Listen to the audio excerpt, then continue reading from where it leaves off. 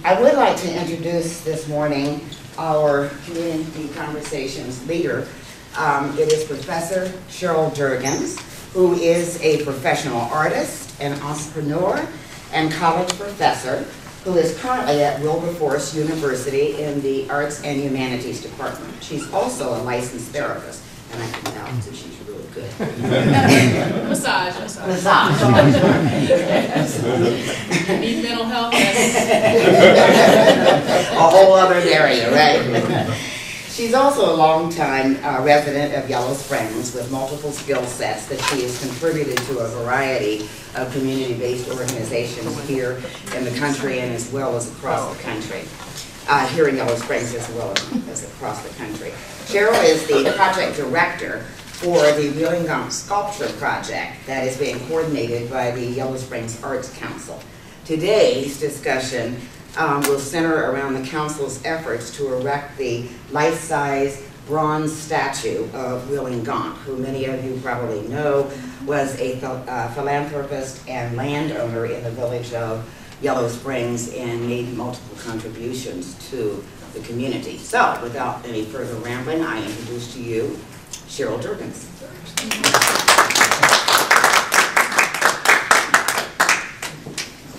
Well, thank you very much for the invitation. Um, I am really honored to be here. Um, This is actually a really lovely occasion um, for me personally. And I'm actually going to do what I did last night, which is I do kind of a, kind of a picture so that I can have the perspective of the audience. So I'm actually, if it's okay, gonna grab my cell phone and just take a picture of everybody, all these beautiful faces here. Um, Because I just really think it's important to have multiple perspectives. So, because that's the prevailing theme I think we have in society right now. Perspective. So, um, I'm super informal about this, but I want to kind of give a little bit of a background of um, who I am, how I came to be part of the Wheeling Gaunt project, and then to talk about kind of the meat of the project itself.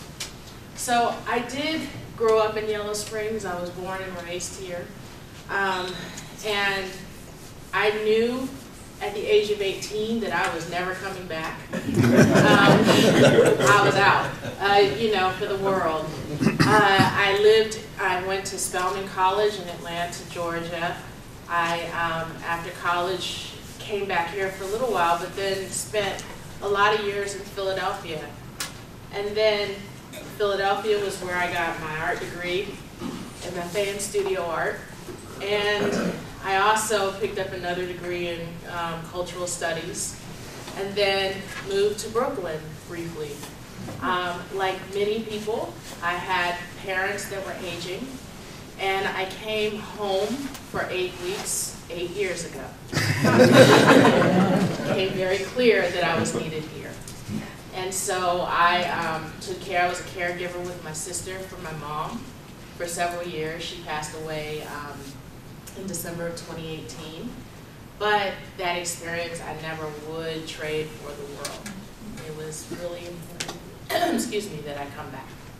So I took a big, huge time to do a major temper tantrum around the idea of returning. But when I got settled in, what I recognized was that there were changes, quite frankly, that I was not comfortable that were occurring in Yellow Springs.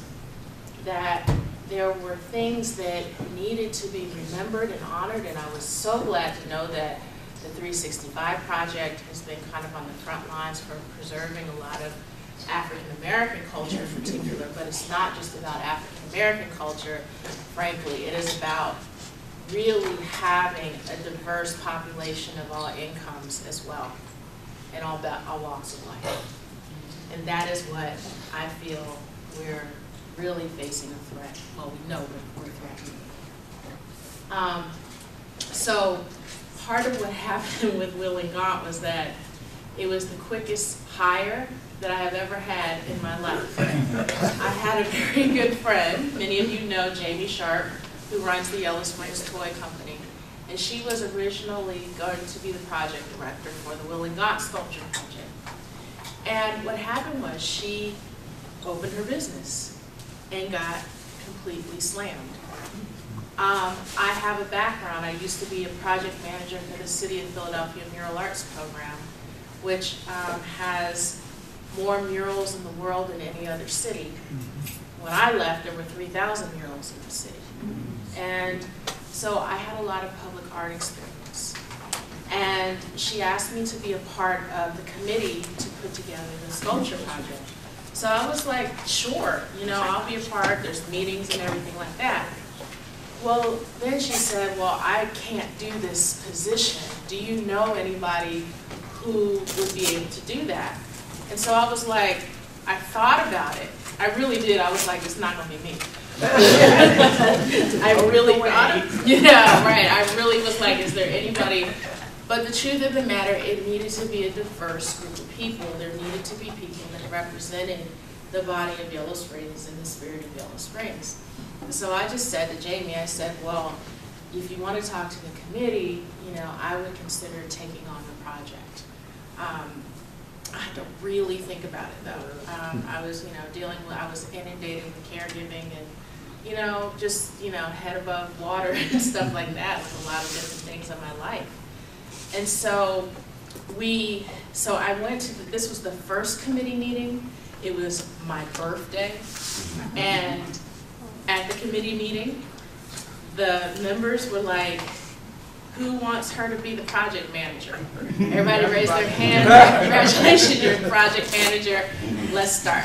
So that's exactly how that piece of it came. But what I will say is this, before that even happened, decades of work had been done in terms of the investigation and research of Wheeling Gaunt's life. And much of that we have to thank Miss Phyllis Jackson for in Yellow Springs. She was really, her and another woman, uh, the late Pat Matthews, they were really the people that did a lot of the legwork and got us to a point where we could even consider next steps and how to honor.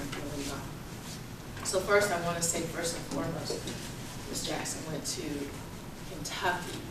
She encountered some challenges in Kentucky uh, related to um, racism even in her research.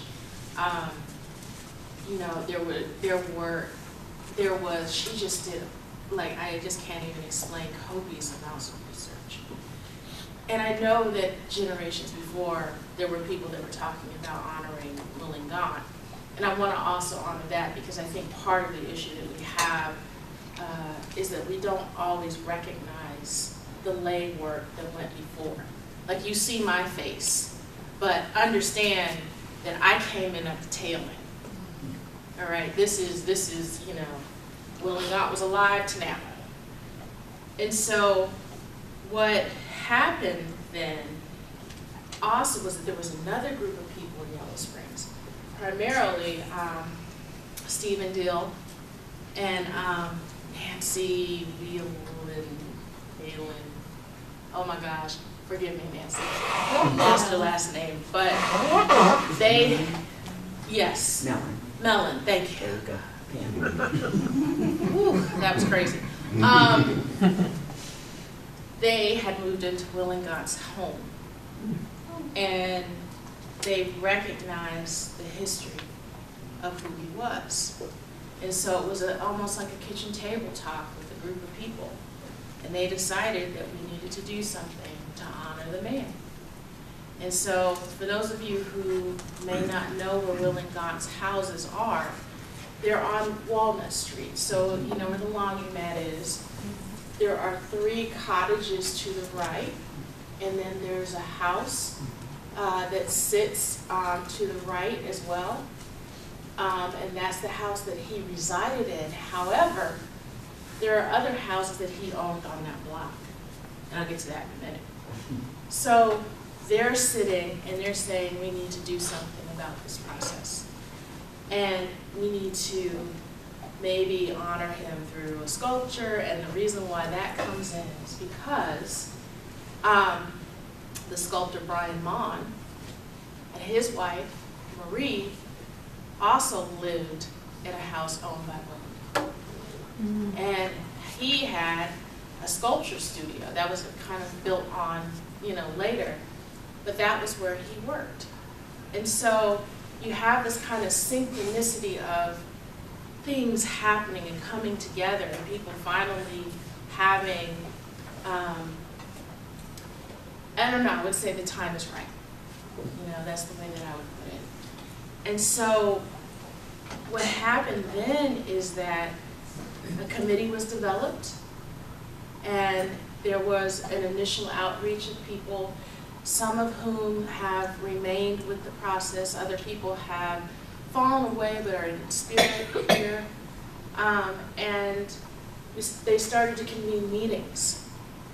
And they decided that they were gonna raise money for a Wheeling Gaunt sculpture. And they had to come up with a budget. And, you know, the bronze life-size sculpture is not, you know, it's not like going down to Goodwill and picking up a trophy for a dollar. You know, it's, it's a whole process. And so what they did was, they started putting out feelers into the community to say, hey, we want to do this project. What do you think? Would you get behind it? Would you support it? And um, Excuse me. really, I have not heard a negative thing about this project since it started. It's like really, you know, I'm gonna knock on laminate. Um, But really, it is one of those projects where people are just like, yeah, we need to do this. It's not, you know, in terms of any kind of controversy related to the, the overall project. And so, July fourth, twenty seventeen, they, um, created a Wheeling Gaunt puppet. They had, um, Dave Newhart's tractor. And they took it to the streets and launched this idea of a Wheeling Gaunt sculpture project. That's when I first initially started. I came on in January of 2018. So that's kind of the background back. In the meantime, the budget was $169,000. And that's, and it was um, spearheaded through the Yellow Springs Arts Council.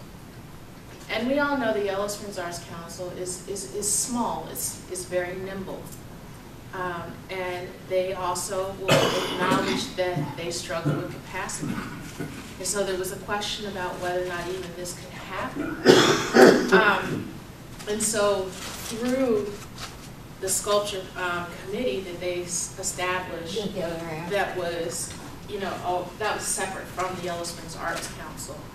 Um, they brought in volunteers who could help with that process. And so, to date, we've raised, um, a little over a hundred thousand dollars. We have sixty thousand dollars to go. And, um, we have done that through a combination of individual giving. And I think it is respectful to say that individual donors have donated twenty thousand dollars of that, which is pretty amazing when you're talking about five and ten dollars here and there. And um, we've gotten government, not government, excuse me, grant funding um, through the, well, yeah, through the Ohio Arts Council. Um, So we have that, we have the Yellow Springs Community Foundation has been a big supporter. Um, They have, they have given a total of sixteen thousand dollars in multiple years on the Arthur Morgan Foundation. Um, so we do have this kind of community effort, um, with local, with this hybrid of local givers and then regional. And I want to talk a little bit about the artist, um, Brian Maughan. He came on and, um, his work, well, I mean, he did Hank Aaron. Um, so, I mean, I just can't, I, every time I just think that's amazing. So, you know, um, I told him, like, when we had these open houses, I was like, did you know that your sculpture is featured in a Netflix documentary? And he was just like, what? You know, that kind of thing. I said, yeah, you got, yo, right. So, you know, it's just he's he's an amazing artist. I know he is he's actually overcome a lot of health challenges himself. He's a cancer survivor, and he has really put his heart and soul into this project as well.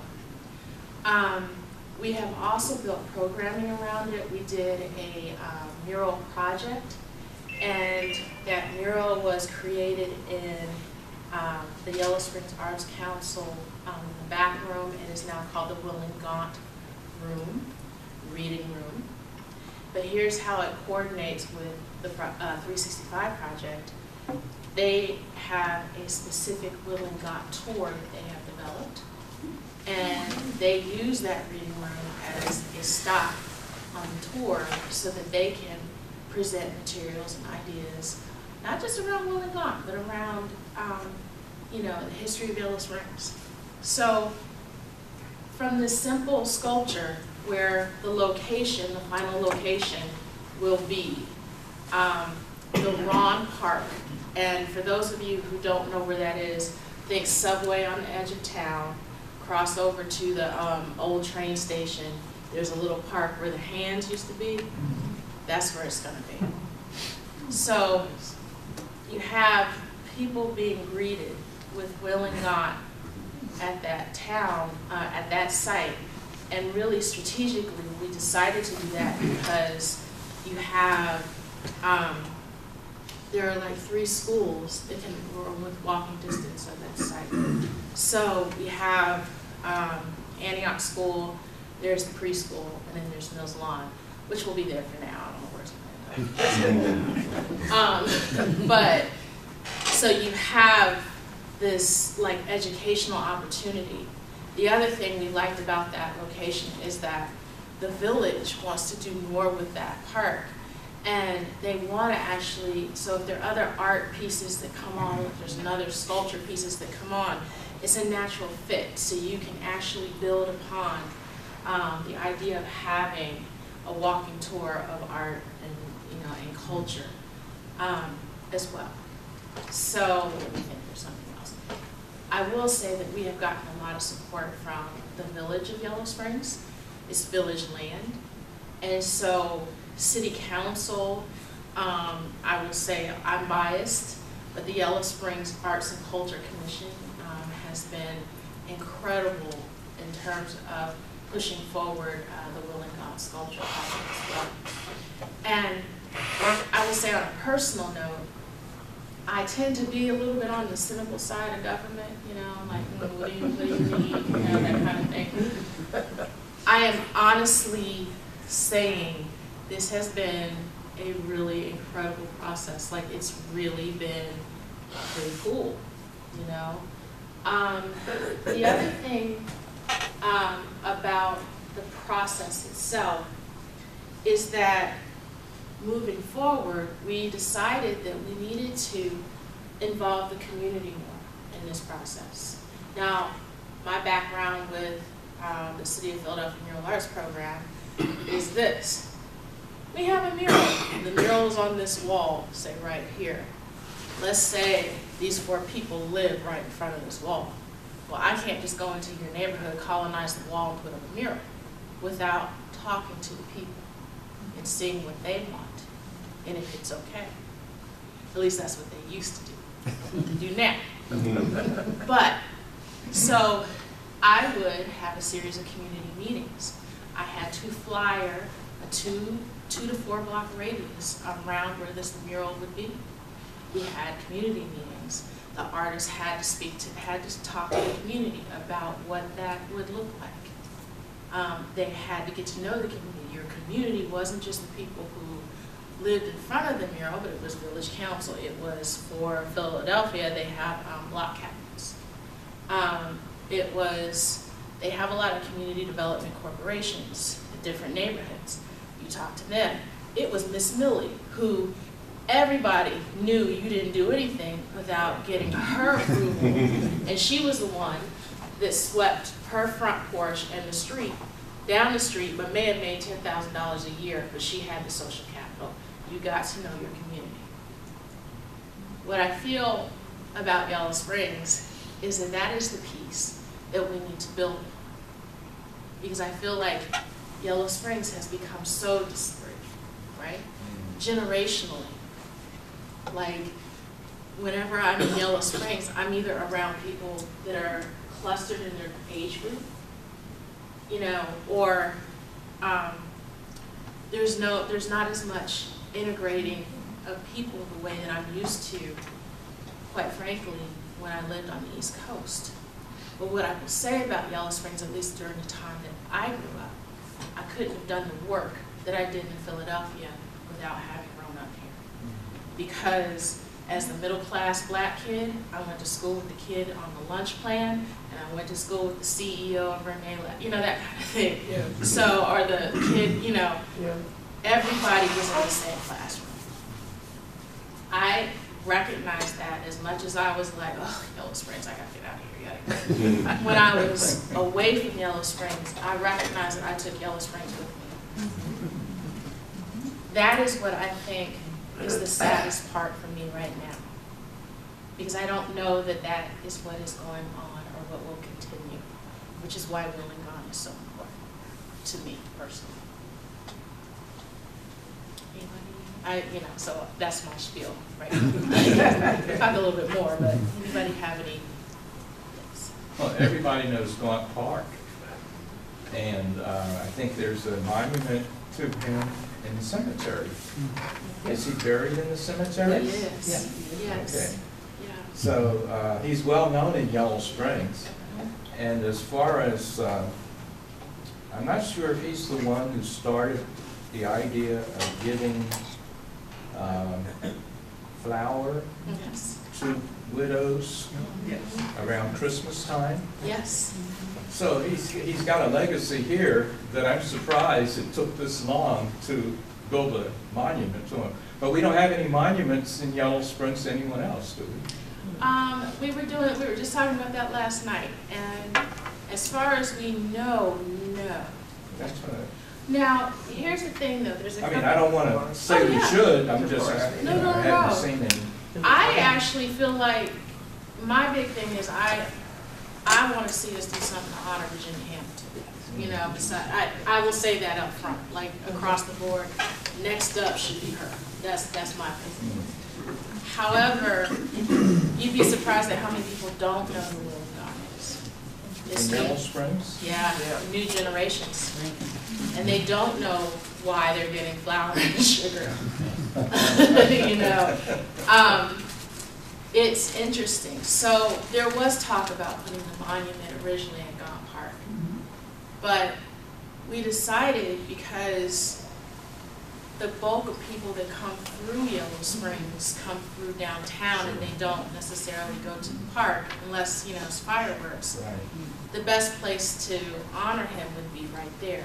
Now, what I will say is that there are talks, and we are finalizing some ideas about adding a mural to the swimming pool. But that's something that is a, you know, discussion that I'm sure will come at a different announcement. The thing is, um, when you're talking about, um, a generation of people, like, the- again, there's that disconnect. Um, one of the things that I, this is kind of the second part of the conversation, which is around education. There are a couple of amazing things that happen, um, through the schools. One is that there was a teacher, Akasa Sims, who a couple years ago did a project-based learning um, module around the life of Wheeling Gaunt. She had her first graders create an ABC book about the life of Wheeling Gaunt. Um, She had um, the 365 Project historian, um, Dr. Kevin McGruder, come in and talk to her class.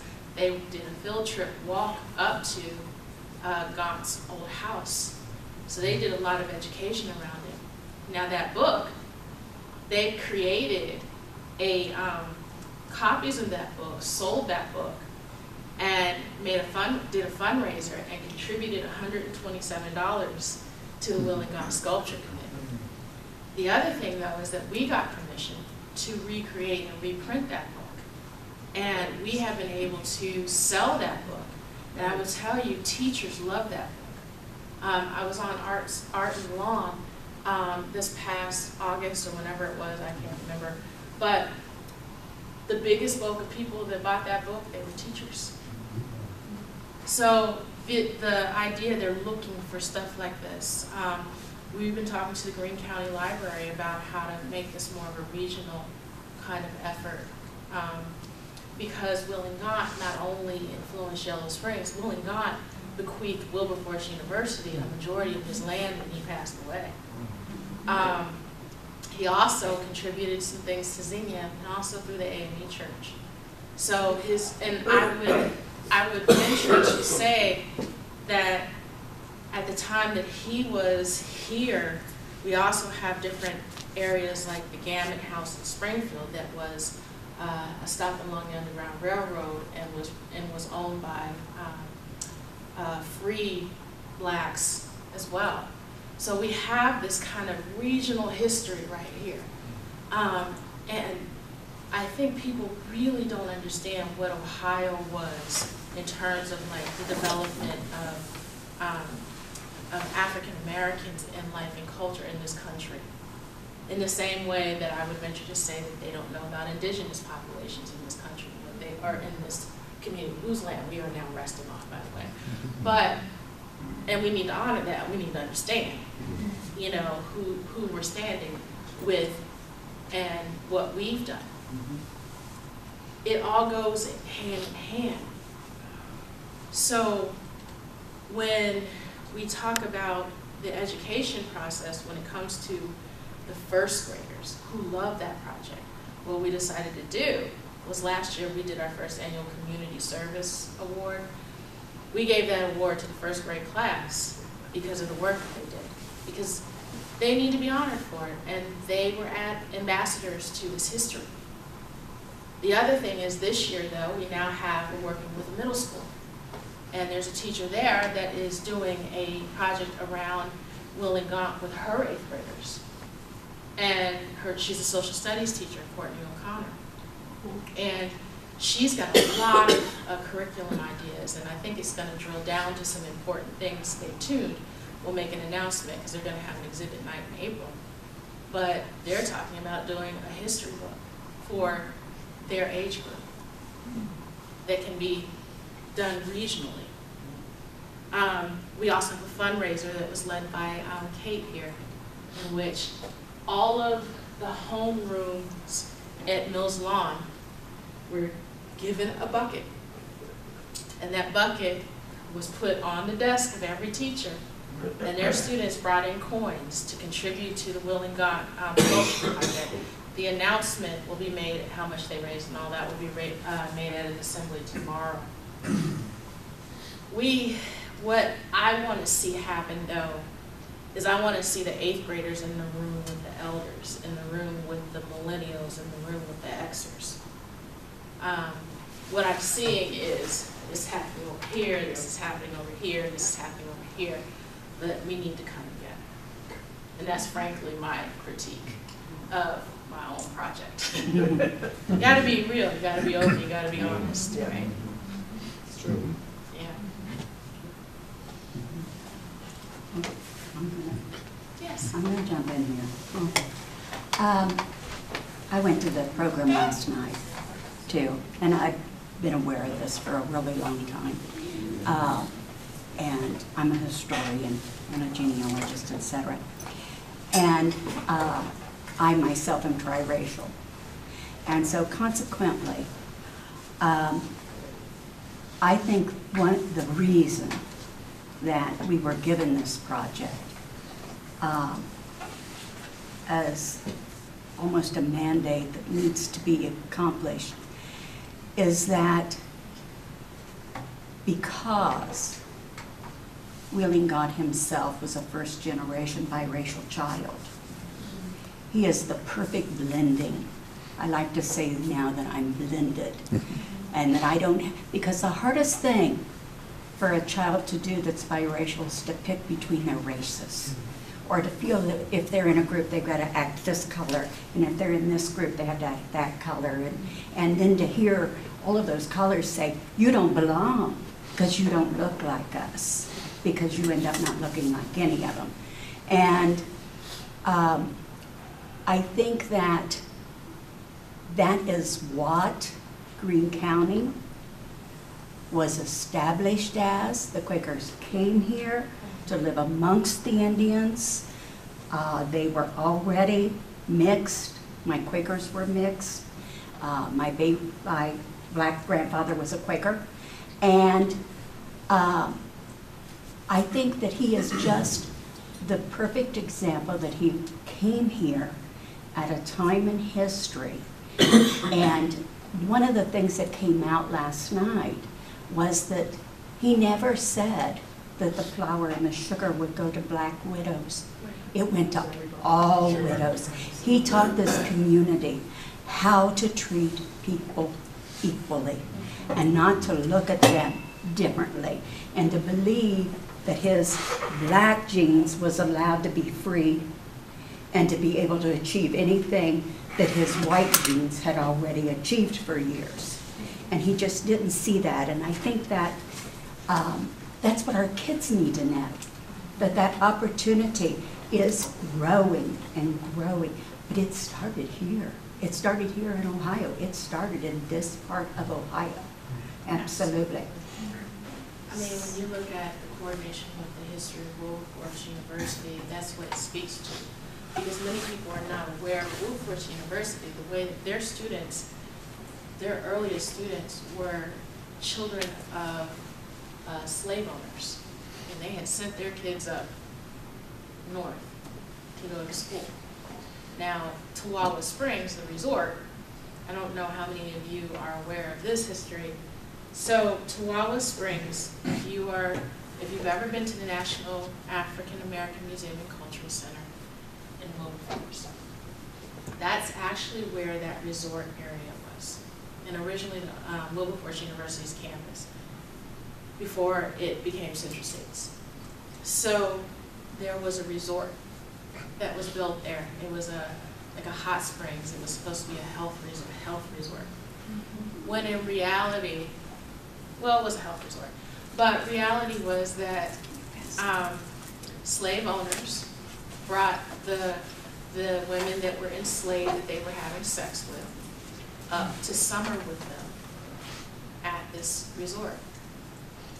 Now, interestingly enough, the resort itself was em- employed a lot of free ba- blacks. So you can imagine the kind of clashes and tenseness and stuff that would have occurred there, right? Well, that closed, and I won't get into kind of the detailed history of it, but then there was an opportunity for uh, a privately owned historically black college to, um, to take over that land and open a college. The people that used to go to Tawawa Springs sent their, their kids to this college. We now know became Wilberforce University.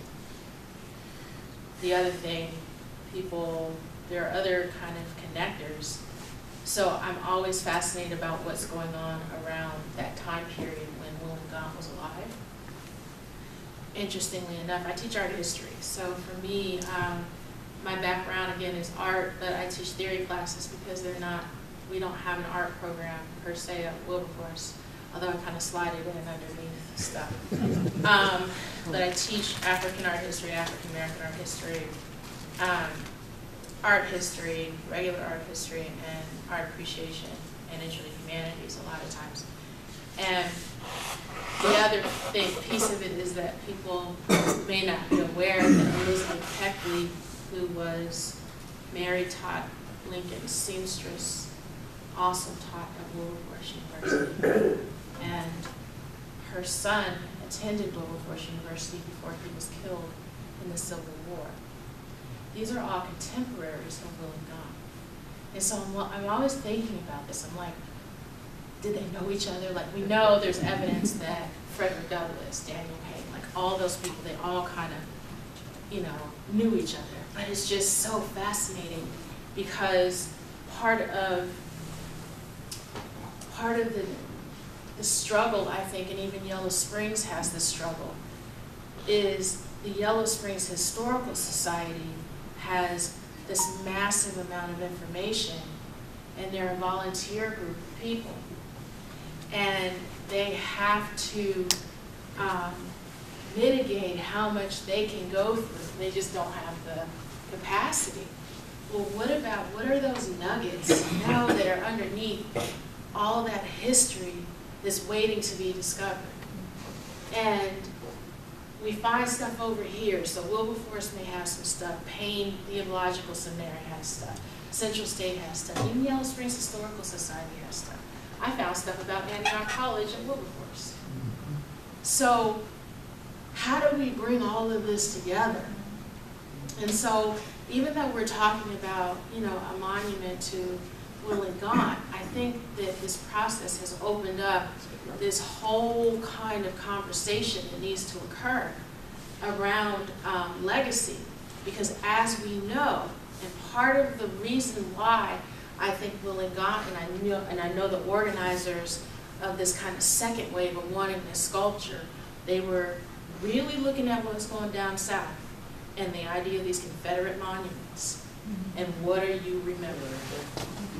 And the response, which I think is the responsible response, would be that we have to make sure that, that, well, they say, what, the victors of history write the history. So we see that over and over again, like we have legacies of people that have disappeared, you know, and we only get one side of the perspective because we get the victor's side.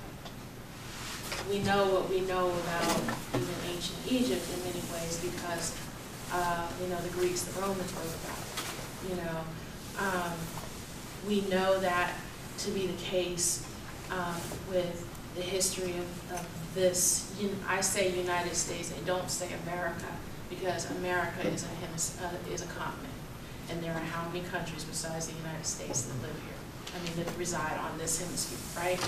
So I'm very careful about that language. But this isn't, I mean, all of us, with the exception of maybe a few of us, this isn't the land, this isn't our native indigenous land. We're here as visitors and in many cases, generationally, some of our folks quote unquote conquered to get here. Like I, I will say, you know, I'm not for saying that Africans were immigrants.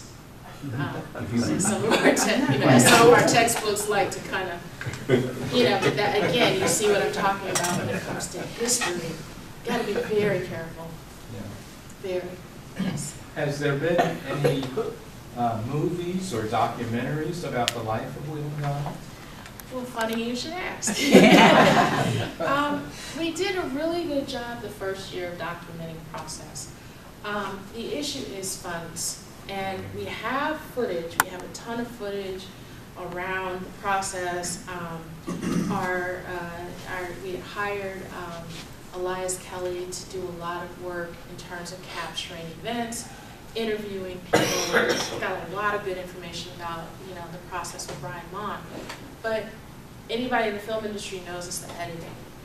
And so we do need to have a process or a fundraiser, quite frankly, and the will to do it, which is an internal conversation.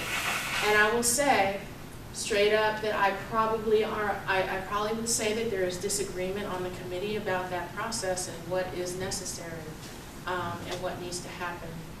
Um, I'm, I'm careful about saying that, you know, publicly, hi, Cameron. But, but there is, I mean, there, there quite frankly is. Um, I am on the side that, uh, would vehemently say we need to do every and all we can, mainly because as African American and a person of African descent, I know what that is. We have lost so much of our legacy, you know, disappeared, gone, because we didn't take proper care of um, or couldn't take proper care. You know, so it's a, a lot of times it's a privilege.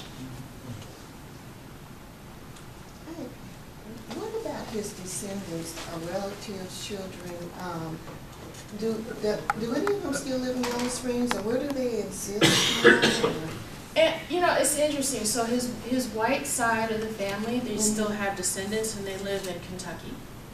Um, and a few years ago, par- some of their descendants came to visit Yellow Springs to see what it was about. Um, this is where the history gets a little murky. So when Wheeling Gaunt purchased his freedom, he purchased his freedom, he purchased his wife's freedom, and he also purchased a, a boy's freedom. And that boy, we think was his son in some way, but we don't know. And he just kind of drops off. So he didn't leave any heirs, you know, here that we know of. We do know his sister um, eventually made her way up here, and she lived in Xenia. So we know that there is on his like immediate kind of generational thing, but there's really not a lot of information. It What was his sister's name? I think it's Louisa. I think it's Louisa, yeah.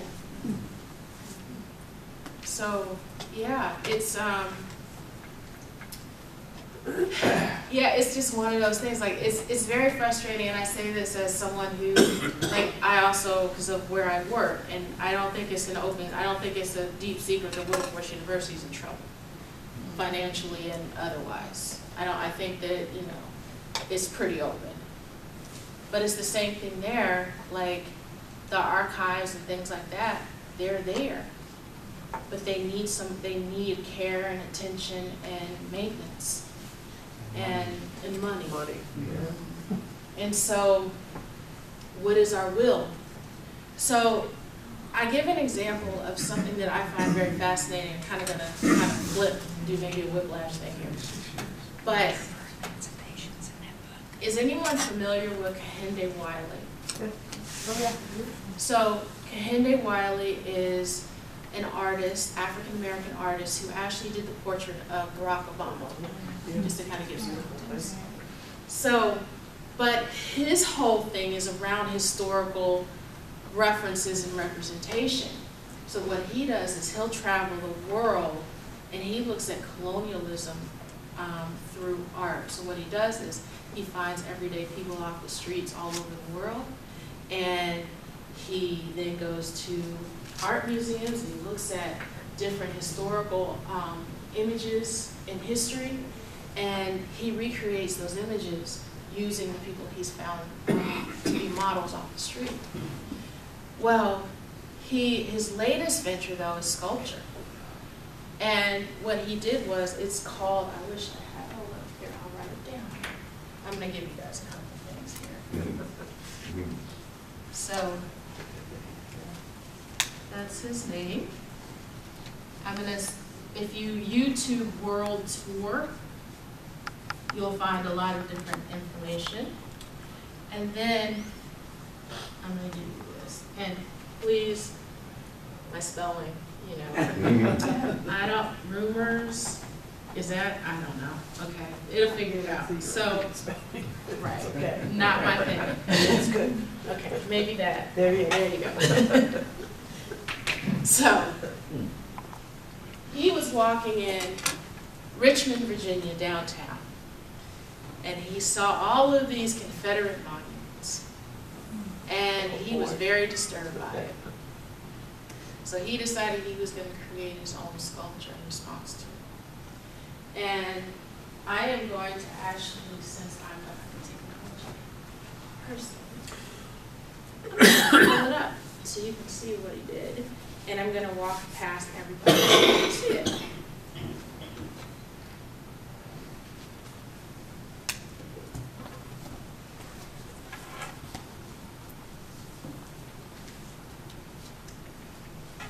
So that's the monument that he did in twenty nineteen. Okay. Got it? That's the monument.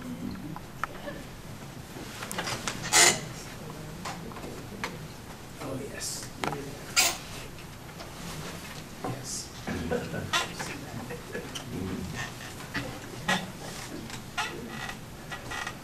Oh, yeah. I'm familiar Yep. with You don't recognize it. Did you?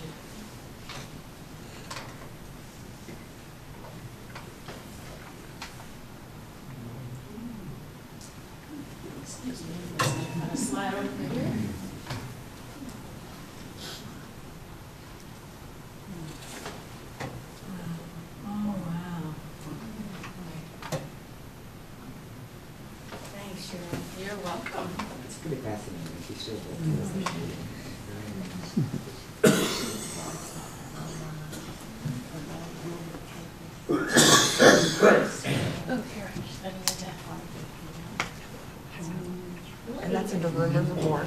That's under rumors of war. I've seen. Oh, did you get to see it? So, so this, it was a direct response to the, even the way that the work was created was kind of mimicking what you saw with Civil War generals, Confederate generals on horses, right? So, it is so, to me, appropriate, the Yellow Springs is right on time with things. Because here we are, you know, saying that this is history that needs to be acknowledged. And his legacy is still like, I mean, it's so contemporary. Because what I talk about with my students is when you're gone, there's a residue, right? A legacy.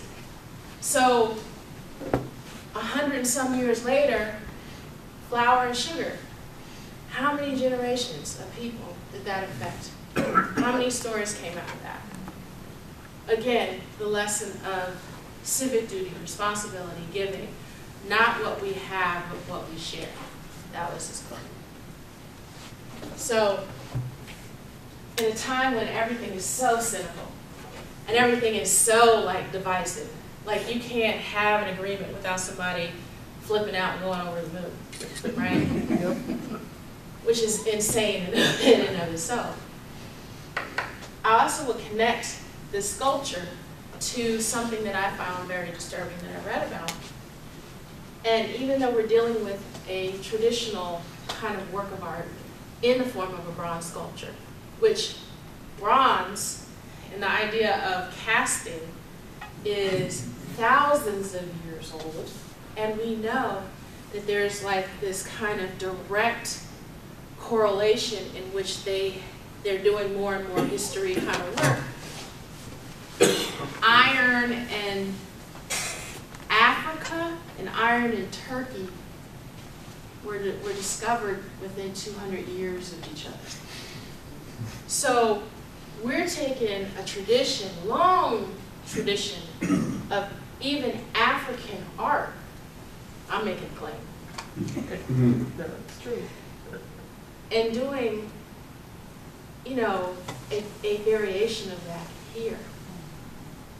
Then we have, um, when I say that and I talk about technology, well then when we relate it to what is going on kind of in this fake world of the internet, right? Where things aren't tangible, we can't really touch it, right?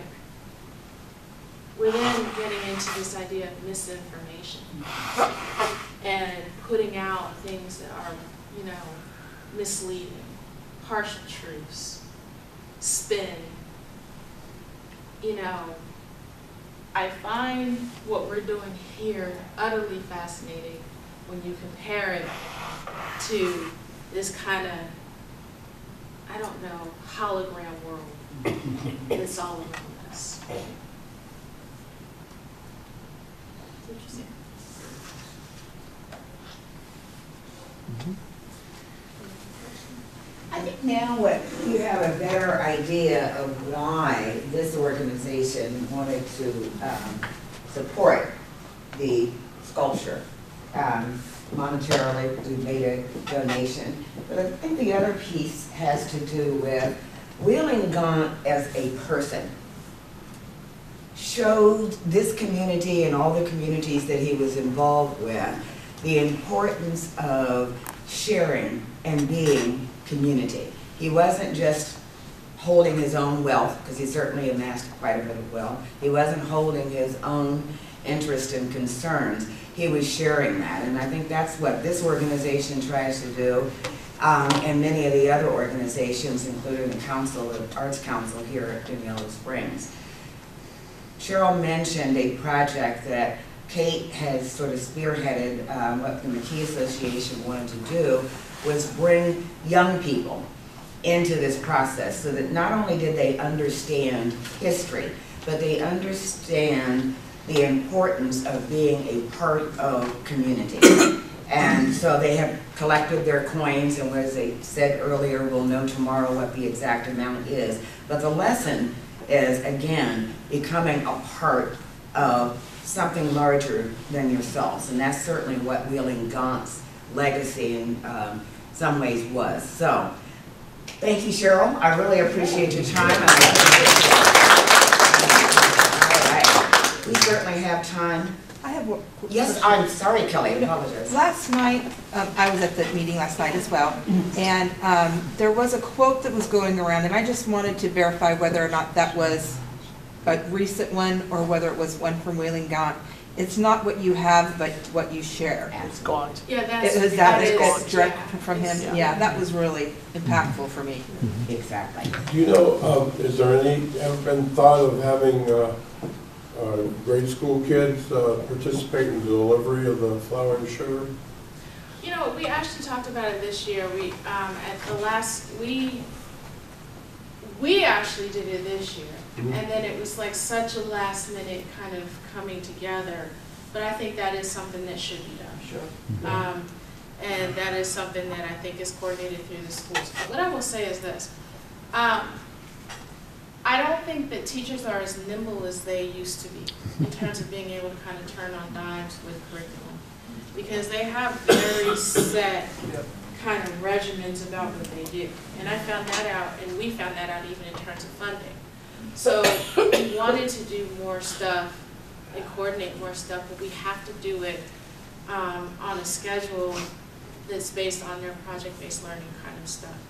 And that's fair. I mean, I, you know, you can't just call somebody and be like, hey. But, but I think that it really is timing. I think that there's a will for it. And I think that it was, you know, enough time, we can definitely do it next year. Cheryl, I'm sure you remember that this town fills with tourists every Saturday. I think it would be insufficient just to have a statue, even if you had some leaflets at the base. But you have the opportunity to have young people work on Saturday to talk to the crowds that come. Otherwise, they'll look at the statue and they won't to know what it means, what it signifies. I agree with you, and I, and, um, uh, the three sixty-five project, one of the beautiful things that they do is they train young people to give tours.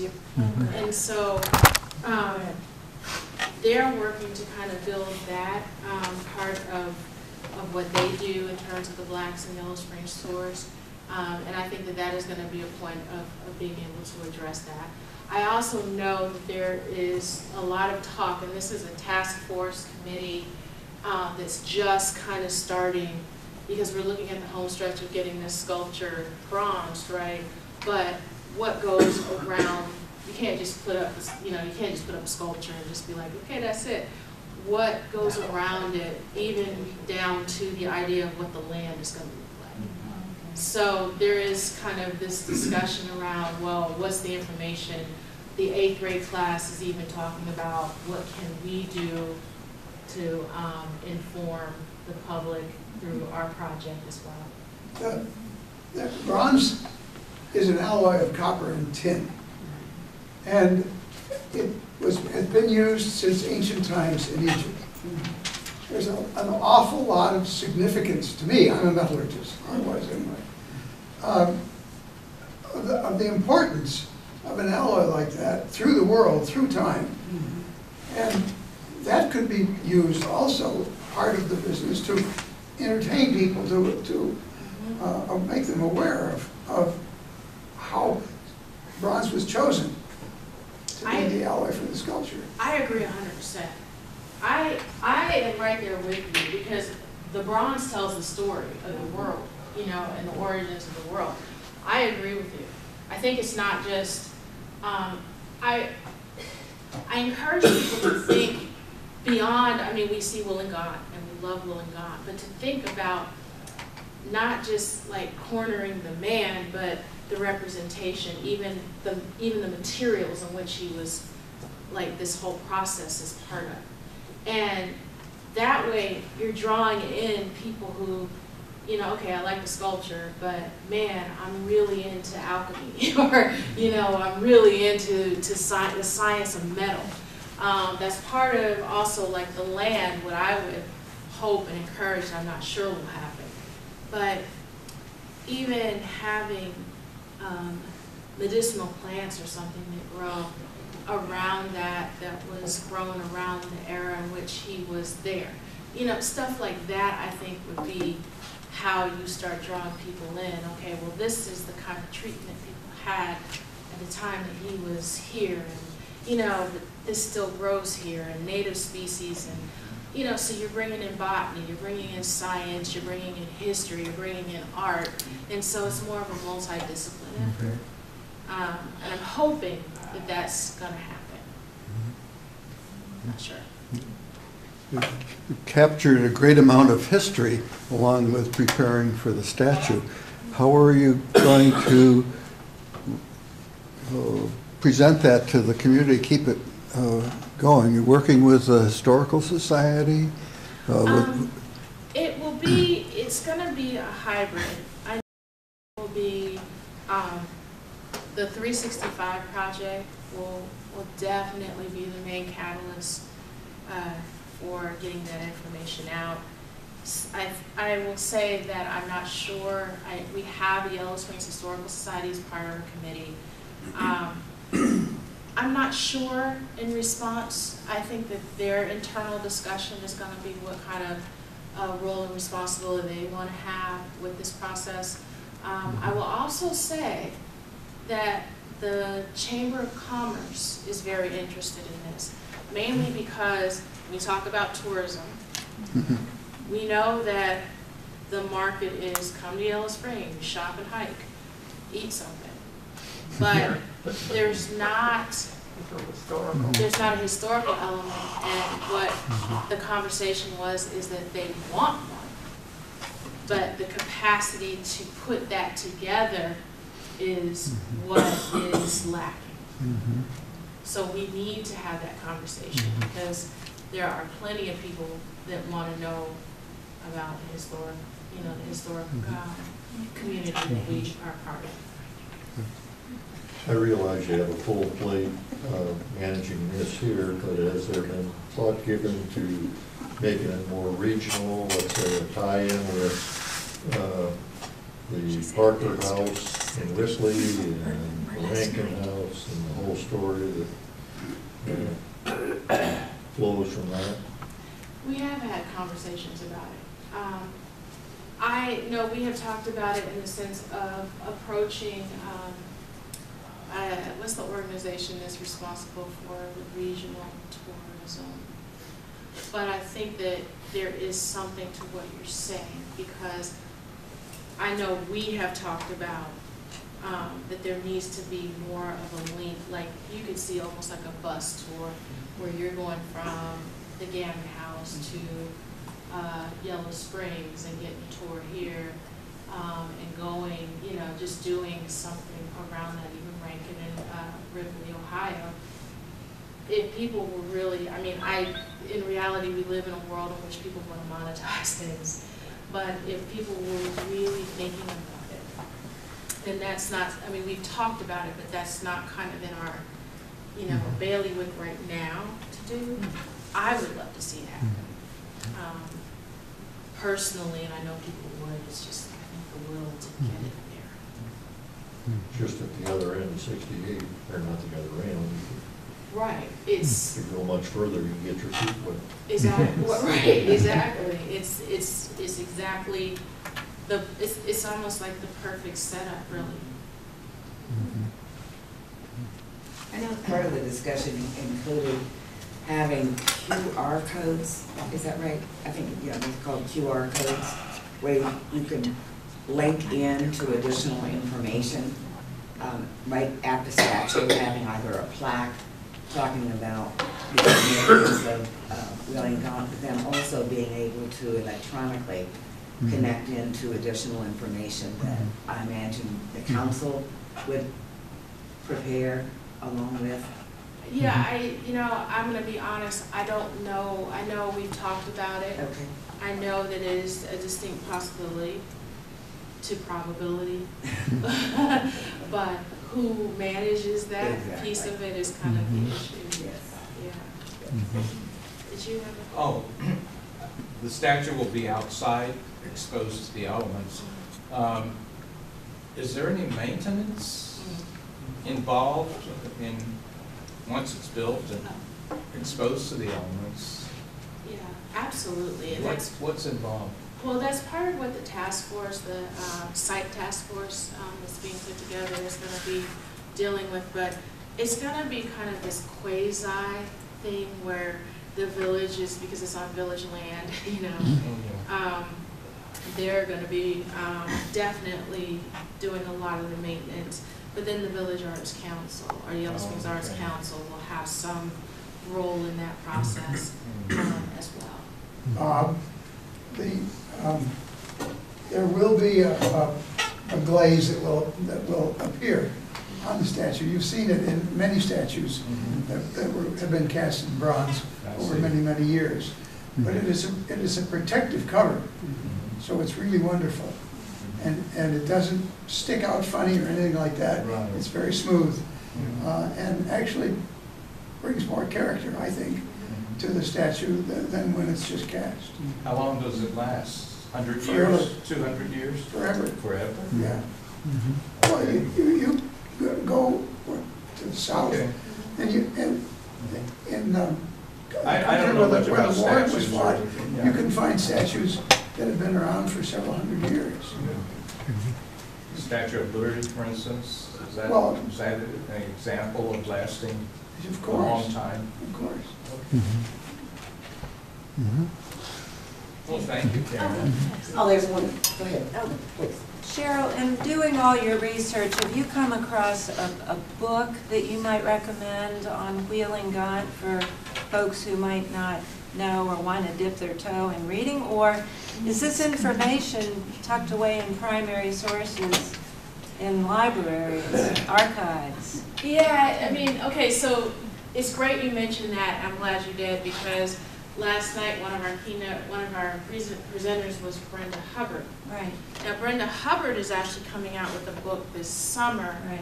Um, hers is gonna, I believe, be kind of a hybrid where she, you're gonna have kind of a factual, uh, you're gonna get a factual story of Wheeling Gaunt, but also it's, it's, it's memoir as well.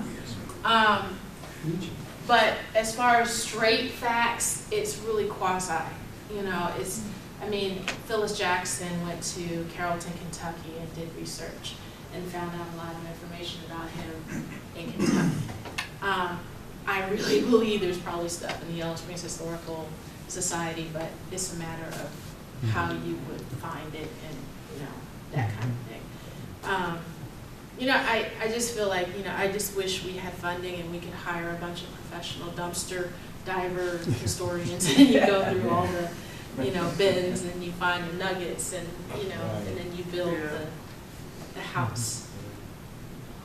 I think three sixty-five, Pam, three sixty-five Project's website is just full of this information. Mm-hmm. It's actually the mo, when I was digging around in it to get stuff to the school kids, that's the place I found the most all compiled versus a little bit here, a little bit there. That, that one was the, really the best, Okay. so. And I will say real quick, I should put a plug in. Um, the, uh, Project three sixty-five just produced an encyclopedia. You can purchase it for fifteen dollars, and it's the Blacks in Yellow Springs Encyclopedia. It's really interesting. Yeah, it's a great find. Yeah, so I would suggest, um, you know, I, you know, they're, they're just, they're the game in town, man. They're holding it together for the, the history. And so, um, we need to support that. I hope everyone agrees that we need to support that as much as possible. It's something about Wheeling Gaunt getting the encyclopedia. Yeah. Oh, yeah. Yeah, so, and it's what's, I think fascinating is that if you have not gone on any Blacks in Yellow Springs tours, um, the other thing is that if you, I believe, now quote me, but I don't believe, even if you have issues with walking, they will do a driving tour. They do, yes. And so, um, I encourage that. The one that I actually was floored by, besides Wheeling Gaunt, was the Blacks in Real Estate Tour. Mm-hmm. That one was, wow, mm-hmm. because you would be amazed at who owned what and when. Mm-hmm. The, the building that this is going, this statue will be in front of, the old, the new old train station, has a lobby that's used just for pamphlets. That would be a good location for a video clip, uh, display explaining the statue and, and his life a little bit. That might be a project for uh, project-based learning or an Antioch uh, effort. You're absolutely right, and I think that we should show this video clip at the timestamp to the chamber, because I think you're at, you're onto something. Yeah. I was actually thinking it probably would be a great YouTube, because everybody's got a phone, and they could like walk up to the statue, and if somehow we have, you know, go to this YouTube, then we could have an automatic YouTube that gives them all the information. And even a walk through to, through town to what his properties were, and mean, there's been, there's- there's so many different aspects, like, there are people that have ideas of like even commissioning some sort of dramatic reinterpretation, so that that's something that can be done, um, even in front of the, you know, sculpture. Um, there's so many different ways. I, I'm open to everything, because what I'm saying is that I, I feel a very strong connection to a kitchen sink approach in the sense that, um, we have so many people, the sound bites in which people generationally respond to is so different. So you have to really do your homework and understand that, yeah, okay, I'll sit through a half an hour reinterpretation, but, um, you know, if I'm fifteen and I go on thirty second sound bites, then I'm not gonna necessarily sit through that. You know, I'll sit through it, but I'm gonna be doing this the whole time.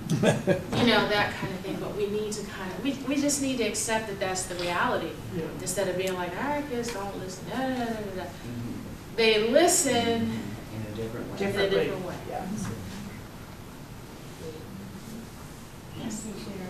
Being a pragmatist, uh, I, I applaud the siting of the thing close to the train station and close to the police station for security reasons. Should have twenty-four seven camera, and a number of other attributes, because you probably know, we lost a historic marker on, near the bike path, near Grinnell Road, a number of years ago. And we wouldn't want to do that again. I agree, and I also think, um, unfortunately, based off of the racial climate in our community, uh, not necessarily in Yellow Springs, but in our surrounding communities, um, that the reality for vandalism is, is being, you know, pragmatic, I'm pragmatic.